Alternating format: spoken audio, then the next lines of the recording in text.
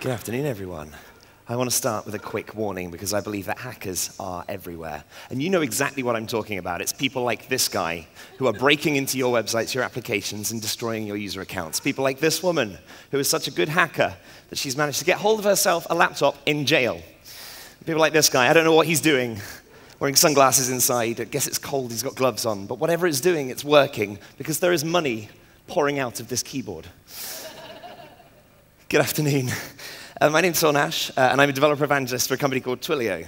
Uh, has anybody here heard of Twilio at all before? A couple of people, a few people. All right, cool.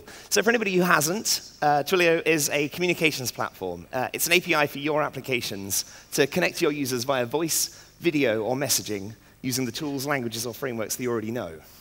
Now, I'm not here to talk about Twilio at all today, uh, as I, but it may come up as a useful thing at some point. We'll see about that.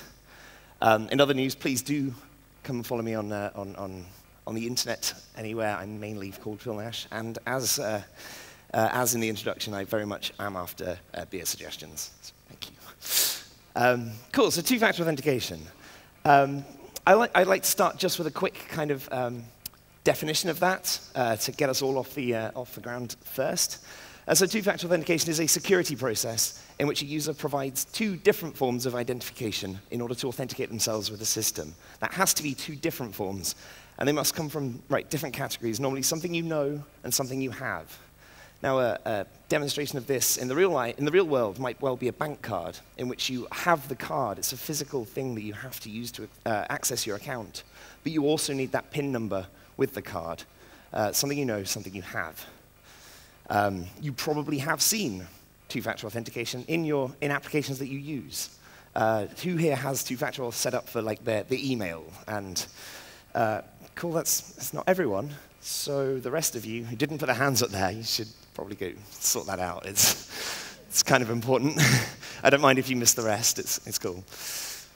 Um, I really, you know, sort your own security out first. I, I think that's kind of important. But um, we're going we're gonna see why this is important for everybody else as well. Um, so that's what I want to go through, kind of why uh, I think two-factor authentication is important for applications right now. Uh, and I want to look at then uh, how we can implement it, how we can make this happen for our users, and then how that can be even better, and how we can improve the experience of security. So I want to start with a quick story um, about a hack. Uh, this is a guy named Matt Honan. He's a journalist. He used to write for Wired, and I don't know where he writes right now. But back in 2012, a lot of his online accounts were compromised. They were destroyed, basically, by a couple of hackers who um, didn't really do anything very technical. Um, and I want to I kind of share with you how they broke into uh, Matt's, several of Matt's accounts. So they started um, by finding his email address uh, on his website. Perfectly normal thing to do, have your email address on your personal site. Uh, it was a Gmail address, so they went to Gmail and filled in the address and found that he had a me.com uh, email backup, so with Apple. That's, that's cool too. So with this information, they phoned up Amazon and asked to add a credit card to Matt Honan's Amazon account. It's kind of nice, I guess. Spend some of their money for them.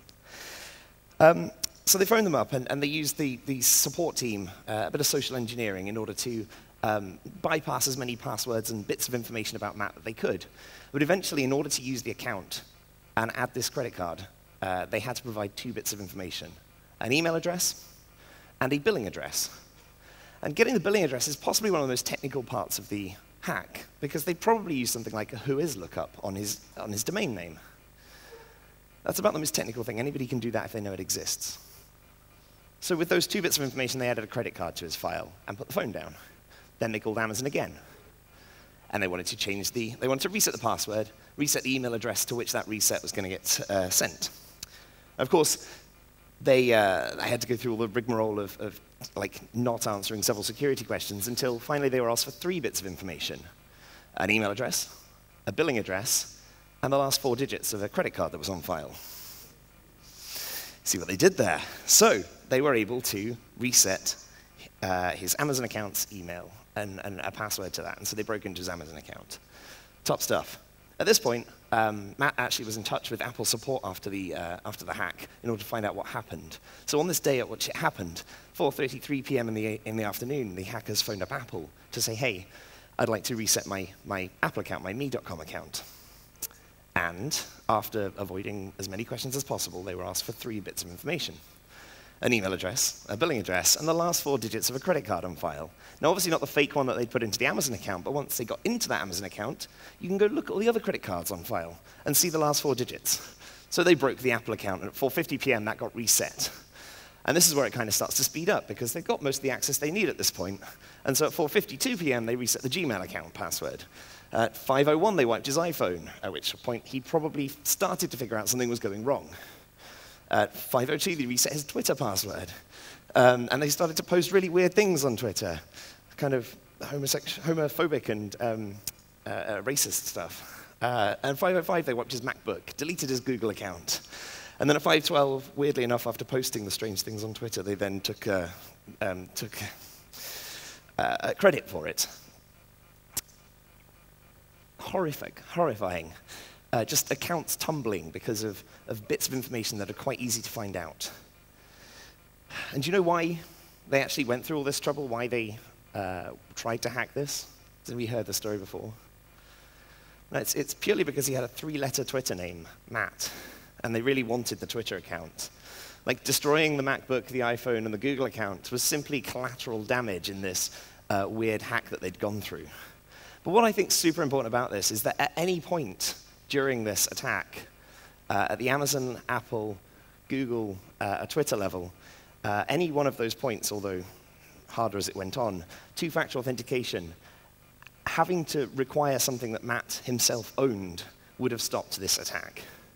And that's one of the reasons I think two-factor authentication is super important. It does not take technical ability. It doesn't take database hacking in order to break into somebody's account. And it doesn't have to be a really good reason to break into that account either. Just going through those steps in order to post weird things on Twitter was all that was all the, the motivation necessary for these hackers. But I've got another uh, reason as well. You know, that's, that seems like it's maybe a, quite a lot of effort for some people, and maybe we're a bit safe from that. And you're probably also thinking, you know, I'm, I'm a sensible person and I use uh, some kind of password manager. I use, you know, uh, and I, I, use a long, different, random password for every site, and it's all kept in there and backed up and encrypted. Uh, and that may be true, um, but not everybody in the world is using these. And so I want to talk about a different hack, a hack that happened around this time last year on a rather larger scale than just Matt's uh, attack. Um, who's aware of the site Ashley Madison? Uh, yes, so uh, if you're not, it's a, we'll, we'll say dating site. Uh, and um, it, was, it was broken uh, into for some apparently ethical reasons uh, last year. And eventually, the attackers released the entire database, um, which is cool. Uh, and uh, this included uh, all emails and usernames and things like that, and, and hashed passwords. Uh, except a security firm uh, grabbed this uh, dump of data and were able to break 11 million of those passwords because the hash, hashing algorithm used on those was not strong enough to withhold an attack. So, what I have for you now is the top 10 passwords used on ashleymadison.com. Has anybody got any guesses as what's number one? Pass, I'm hearing password. Anybody else? Six ones. That's, I've not heard that one before. Um, I, I, mean, that's pretty lazy, isn't it? You don't even have to move your finger more than one key. It's good. Um, and apparently, the users of AshleyMadison.com are less lazy than that because number one is one, two, three, four, five, six. that's cool, right? That's cool. Um, some are lazier, though, because one, two, three, four, five is in second place. And then we get password, which, you know, that's good. That's good, that arrives. We got some default. I've never understood this one. No idea why that's there. Much like, yeah, so many people with caps lock on. Uh, one, two, three, four, five, six, seven, eight, nine. Uh, you know, because you need a long and random password. QWERTY. For the people, you know, who are fans of letters rather than numbers, I guess. Uh, um, this one uh, might be the most creative, ABC123. You actually have to check out where those keys are and press that. Um, number nine was not the character's NSFW, but I wasn't going to put what it was on a slide at a nice conference with a bunch of nice people. Um, so if you want to find that one out, uh, maybe ask me after a couple of beers later. Uh, and then finally, one, two, three, four, five, six, seven, to round out all the numbers there. But the horrifying thing about this is that, you know, that, that's a lot of ridiculous passwords, but what it is is also a lot of people using those passwords. As 120,000 people decided that 123456 was a good password to use on a site that you really should be keeping secret from more people um, than, than, than any normal site. It's terrifying, it's horrifying. Um, and you might even think, okay, maybe, maybe some of those were uh, you know, made up. People were just trying it. They just wanted to see what was going on in the site or whatever. But when, even when you get past number 10 there, um, and there's still like 9,000 people using a certain password, uh, and they're all kind of easy to guess, or, or probably dictionary-based ones. Um, uh, it, it's just kind of, it's awful. Uh, and um, you might think that um, the problem with this is that people like to reuse those passwords all over the place as well, right? One password used on many sites. And this can be an issue for regular people, but also possibly people who, you know, are in charge of one of the biggest sites in the world, uh, is a developer, knows, should know what he's doing with security, and decided the password da da da was not only useful for his LinkedIn account, which got hacked, uh, well, LinkedIn got hacked, let all the passwords out. Uh, he then used it for Twitter and for Pinterest as well. So if, uh, if Mark Zuckerberg is reusing simple passwords around the internet, I'm pretty sure a lot of our users are as well. Um, this has happened to me as well. I, I, have to own up at this point that uh, I've, I've, given this talk uh, a number of times, and after the first time, uh, and I don't think it was connected. Well, let's hope not anyway. but after the first time, I was on my way to another conference when I received a text message um, which said, here's your login for Dropbox. Here's your code for Dropbox. And I was like, well, I'm walking. I, I wasn't trying to log into Dropbox. What's that all about? So I changed the password on that, but later that day, uh, lost my Spotify account. Uh, and then two days later, my Skype account, all to uh, a, a, shared password uh, across those accounts.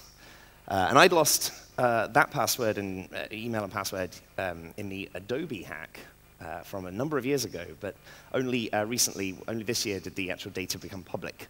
Uh, so that was, that was horrifying. The weirdest thing was, I, I, don't know what they were trying to do with my Spotify account, but I know that whoever took over the Skype account then went around and proposed uh, marriage to a number of French men over the instant messaging. so when I managed to get back in, I, all these kind of conversations started popping up, and they were actual conversations, like people were taking this seriously. So I don't know what was going on there. Um, and I want to uh, uh, shout out another thing that you should do if you haven't already, uh, is that uh, you should go check out this site. That's haveibeenpwned.com. Uh, and this has all the details from any hack, any uh, like leak of user accounts um, and the passwords in it, such that you can check against whether any of your usernames and passwords are available online right now. And you can also sign up for uh, alerts so that when a new, fresh set of data is picked up, uh, Have I Been Pwned will let you know if you're in that data. Uh, and if you can see just at the bottom here, they have their top 10 breaches, the, the largest uh, hacks that they have uh, access to. They don't have the Yahoo one yet, that was half a billion, but that's not quite public yet. People are probably still trying to sell that data. But you can see 359 million MySpace accounts there. Um, there is the LinkedIn hack in there, 164 million. Adobe, which got me 152 million. It's full of people's passwords, and they, it's just, it's available. That data is out there available for anybody who wants to try and take it and use it against your site and replay it for your users. Horrible. Go check yourself out in there.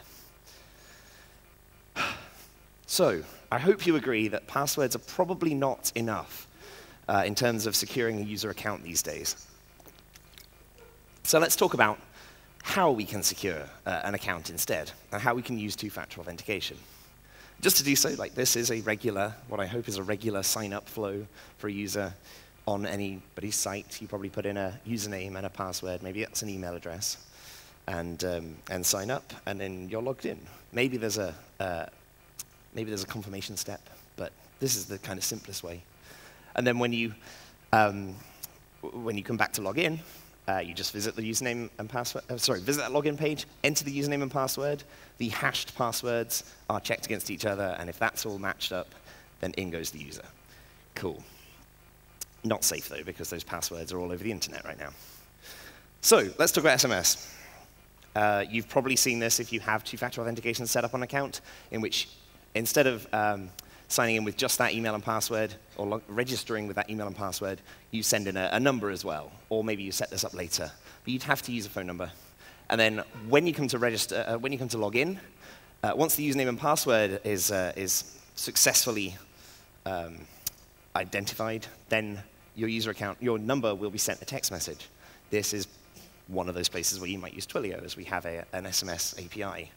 Um, check that out if you're interested.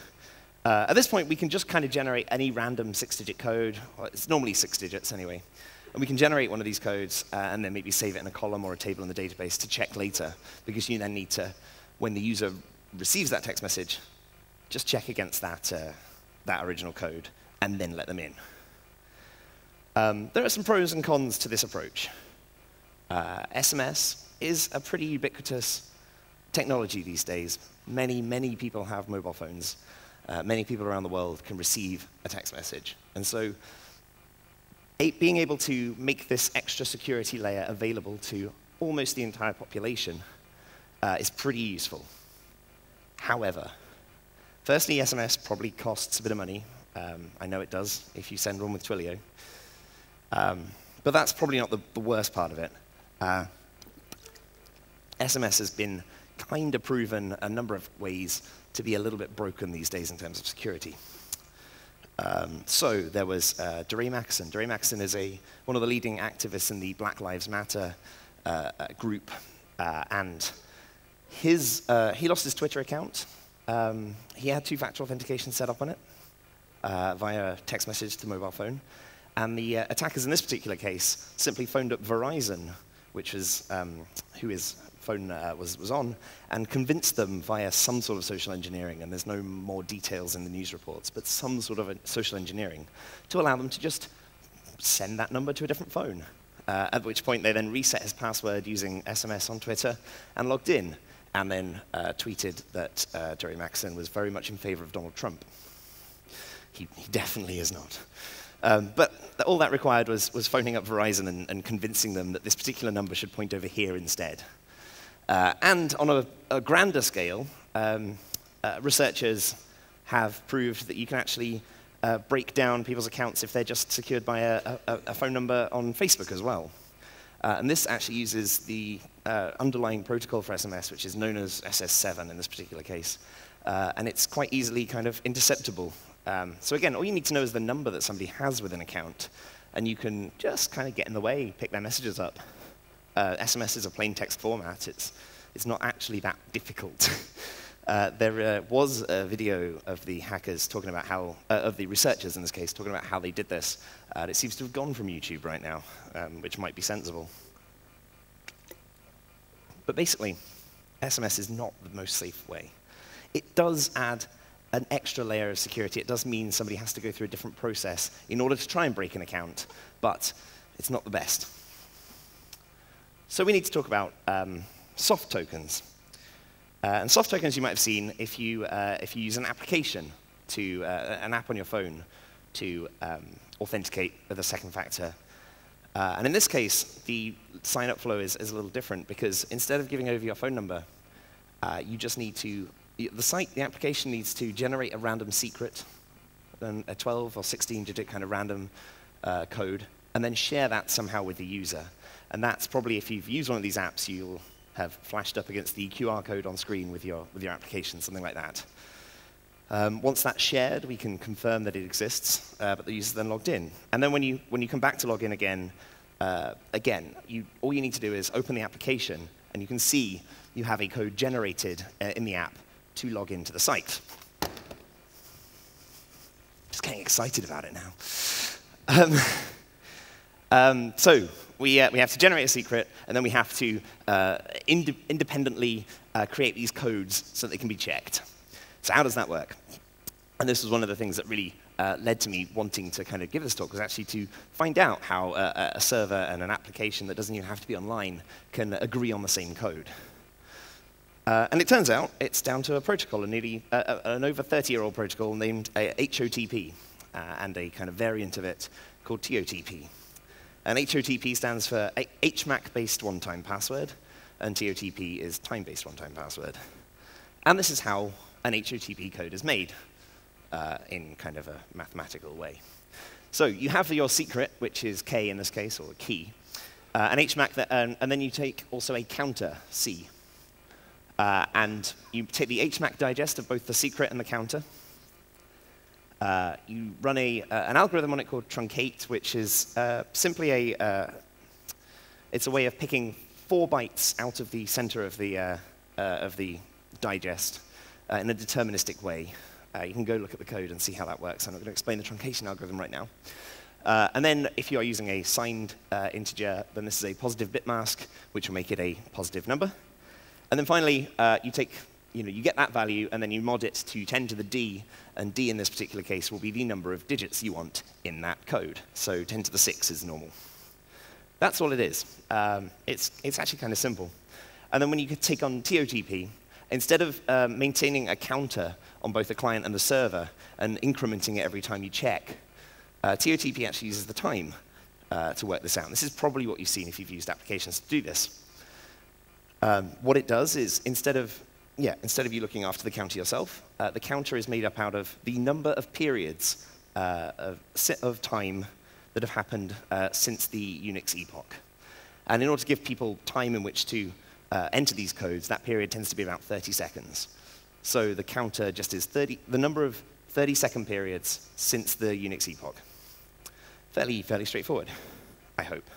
In fact, actually, I want to I wanna show you a quick uh, demo of how this works, uh, because there's been a, uh, uh there's a node library that I like to use to demonstrate this, because uh, it does it just very simply. And um, uh, so I'm just going to open a quick node REPL and get NOTP, require that in. and as you can see, we have two functions with that, HOTP and TOTP uh, which have gen and verify functions. So let's grab that one and generate ourselves a code. Uh, I'm going to use a bad secret uh, because I'm not typing out random things right now. Uh, but what you can see is we generated ourselves a six-digit code. Nice. And if you change the counter, or if you do it the same, it's always going to be the same. Uh, if you change the counter, it's completely different. And without the secret, you can't tell uh, how you'd make that difference. and then finally, we can verify these still read that behind me. Uh, we can verify these. So if we take the first one, 825147, uh, we still need the secret and we need the counter at which that was made as well. Uh, and we get a delta of zero. Uh, and if you were to get it completely wrong, uh, like if that was a six, uh, we get null for false. Like, that's it. Um, HOTP. But as I said, like HOTP is difficult because you have to look after that counter yourself. So if we take TOTP instead, uh, then all we need to generate a TOTP function uh, is the secret. Um, and that is going to stay that for however long this 30-second period takes. So I've got at the start of the period apparently right now. Cool. Uh, OK, so if I go on to write the verify function for this, uh, by the time I'm finished writing it, it should be uh, wrong, which is good to, good to know. Uh, I've got the secret in there. Uh, but it's not entirely wrong. In fact, this is a delta of minus 1, so it's one off. Uh, and if we generate it again, we can see we've got a new one. And if I get that code in quickly, 5, 4, 3, 2, 2, 4, 3, and we have a delta of 0, so that's spot on. Uh, and this allows us to do a, uh, a window of uh, time so that uh, users don't have to hurry. You know, if you've seen that in the application, the time's ticking down, you're typing it into the login form.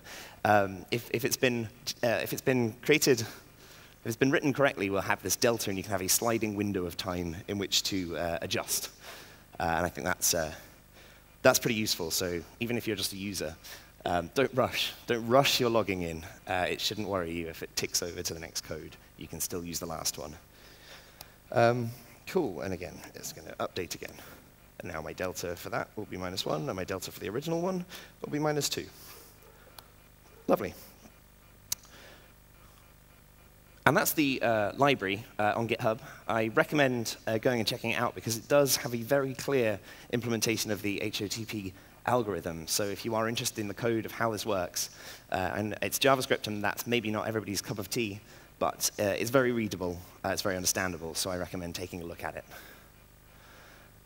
So we have to share these secrets. And as I said earlier, this is probably via a QR code, right? And so this, if you're making this up, this is the kind of thing you have to do uh, in order to share it. You make a URL to share the QR, share as a QR code. And so the URL requires uh, a protocol, OTP auth, uh, a type, which will then be HO or TOTP, uh, the label, which will be what your, uh, what your thing comes up in in the authentication application. So this label probably is both your application name and also an identifier for the user within the application, in case they have multiple accounts that they want to all secure with the same app. Uh, and then finally, you add some parameters, and that includes the secret, which needs to be base 32 encoded, and probably another label, uh, which just describes the application. And so this might be a little small, but that's, uh, that's an example there of my creatively named example app. So we see we have OTP auth, it's TOTP. Uh, it's called example, and it, uh, this is my account on that particular example. Then we have our secret, and the issuer uh, is, is going to be the label name as well. And so I made one of these earlier, because I like QR codes. Has anybody got an authenticating app with them right now and can scan that on screen? Uh, because I reckon we can use the, uh, the NOTP library there to, to get the right code. Uh, if I just grab my app up, I have that too. Uh, so I'm seeing the code. I'm currently seeing 323342. Has anybody scanned it and agree with me? You've got seven seconds to agree with me, apparently. All right, yeah, so you got 323342? Cool, because it's about to change. There we go. And so actually, uh, so this actually is using um, uh, hello as well as the secret. Uh, and so uh, 472714, are you seeing that as well? You are seeing that as well, cool. So that's my uh, QR code secret there. Uh, and that, that, totally works, which I'm quite excited about. It's the first time I've done that. Um,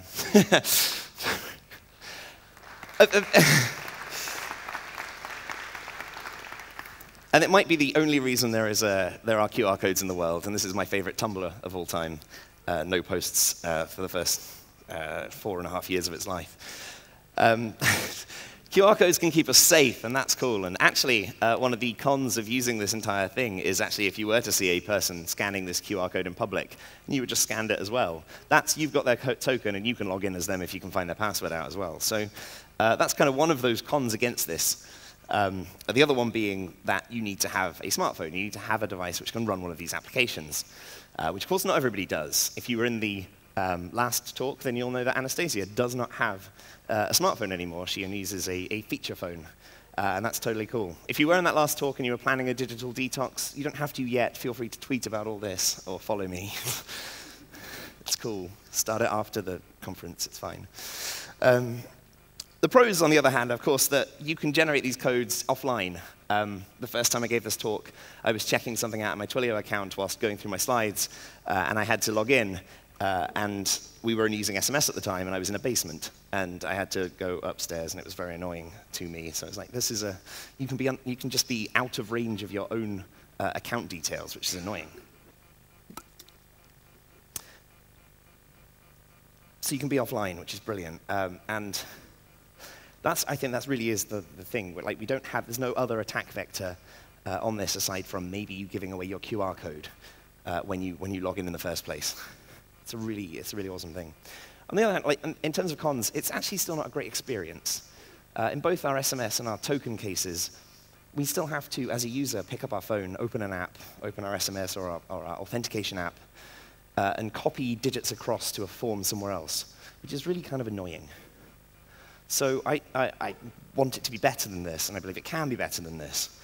Um, and I've been told many times over, the, over my course of, a, of, life as a developer that friends don't let friends write their own authentication frameworks.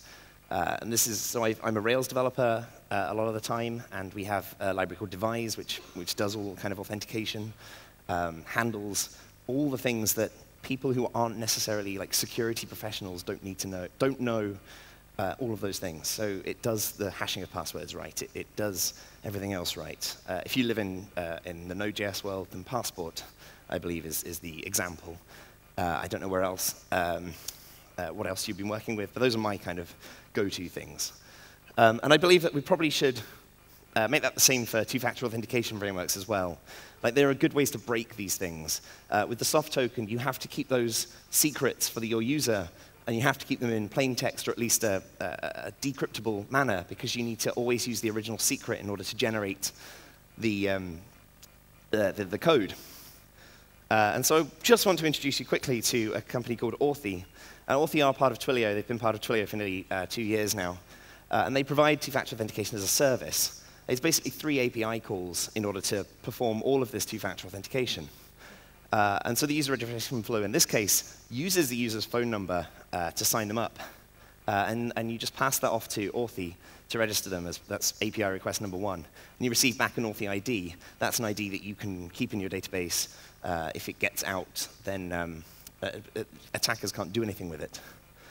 and then um, when you come to log in, and you've got the username and password right, you send a second API request to Authy to say, hey, let's verify this user and that prompts either an SMS if the user hasn't installed the application, or if he has an Android and iOS application as well, and it will prompt a, a notification to that to say, hey, someone's trying to log into your account. Uh, and then you open up the app and you do the copying across of the number. Uh, and um, at that point, you can do your third API request, which uh, verifies that that number was correct. So you just pass the ID and the token that they just put in.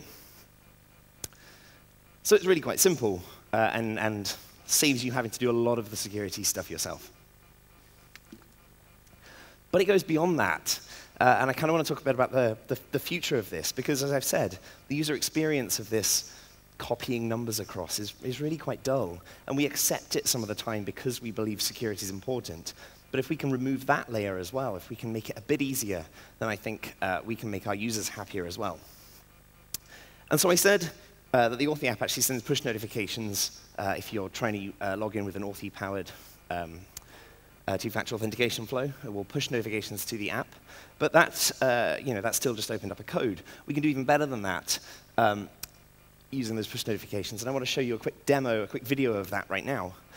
Um, so this is a, a, bank we made up called Owl Bank for pretty much no good reason. Uh, and when you go to log in in this account, in this bank, it's powered by what we call Authy One Touch. And so it sends the push notification uh, and, and, that arrives on your phone. But instead of pre presenting you with a code, it's just going to say, hey, this bank's trying to log in, is that okay? And you can approve or deny that at this point. Uh, and it has, uh, and when you approve, uh, it sends a push notification, sorry, it sends a webhook back to the original application to say, hey, this user said yes. And the application can then move the user on themselves.